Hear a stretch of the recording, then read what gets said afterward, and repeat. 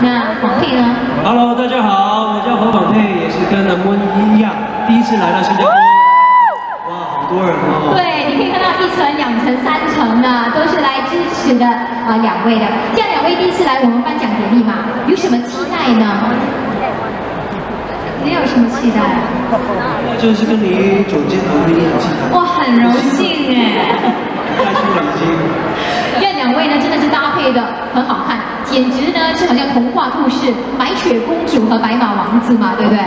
呃，是有 plan 的嘛，这个打扮就是现实他是我兄弟，啊比较像兄弟。是吗？对，like brother 的那种感觉嘛。对呀、哥们，哥们，很 好笑。但是现在就是在穿那个呃很漂亮的衣服礼服，就是呃好像公主啊王子一样，都是挺好的。对，装一下嘛。可以啊，跟你涂装一下。演员嘛，什么都可以装的嘛，对不对？好了，谢谢，谢谢两位，来。